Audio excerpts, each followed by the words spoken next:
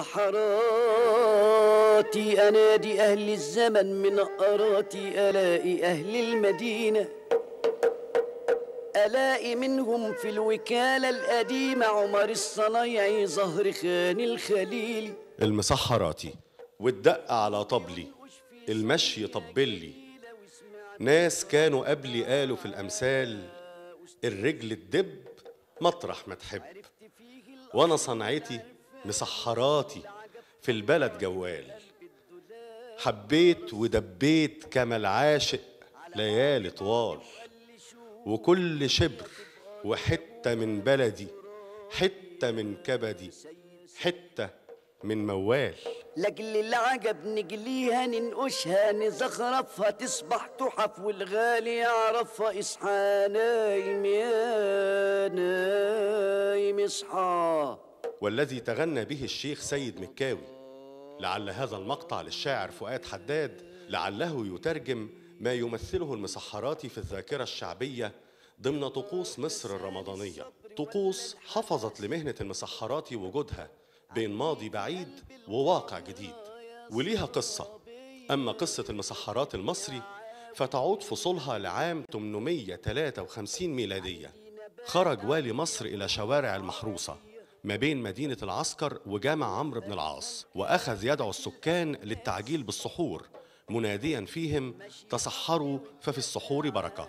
ومن يومها صار المسحرات شخصية رمضانية مصرية.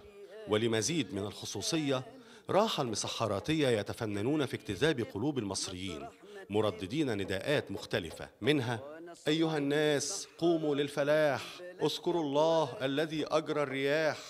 واشربوا عجلة فقد لاح الصباح. لكن النداء الأشهر سيبقى دائما وأبدا. وحد الدايم اصحى يا نايم. ولا يسألنا المسحراتي أجرا باهظا عما يفعل. فقد كان يكفيه حفنة قليلة من الحبوب والمحاصيل آخر شهر رمضان. ثم تطور الأمر إلى عيدية بسيطة يتحصل عليها صبيحة عيد الفطر. ليس أكثر من طارة أو طبلة صغيرة يستعين بها المسحرات في أداء دوره. دعوة وطنية لأمة أبية أمكنها أن تصمد بمرور الوقت. ذلك الدور الذي صار في وجه المحن. حبيت ودبيت كما العاشق ليالي طوال. وفي ذروة حرب الاستنزاف في أواخر الستينيات من القرن الماضي شقت دعوات المسحرات سيد مكاوي طريقها لقلوب المصريين. داعيا الله بفتح قريب إلى أن تحقق النصر المبين في العاشر من رمضان الموافق ليوم السادس من أكتوبر عام 1973 مسحراتي ومعدي منقراتي ومن أدي الطبل عالية في أحضاني زي البيان زي النشرة. في 6 أكتوبر عشرة من الهلال الرمضاني. هكذا كان يتغنى الشيخ سيد مكاوي وهو يجدو بكلمات الشاعر فؤاد حداد. عبر أثير الإذاعة ضمن برنامج شهير شق طريقه فيما بعد إلى شاشة التلفزيون في شهر رمضان. وما زال يذاع حتى الآن. الخير اصحى يا نايم اصحى يا نايم اصحى وحد الدايم.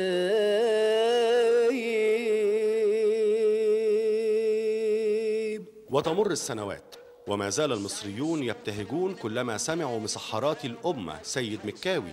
وهو يشدو على وقع كلمات صاحب الحضرة الذكية فؤاد حداد منشدا اصحى يا نايم وحد الدايم وقول نويت بكرة نحيت الشهر صايم والفجر قايم. اصحى يا نايم وحد الرزاق. رمضان كريم.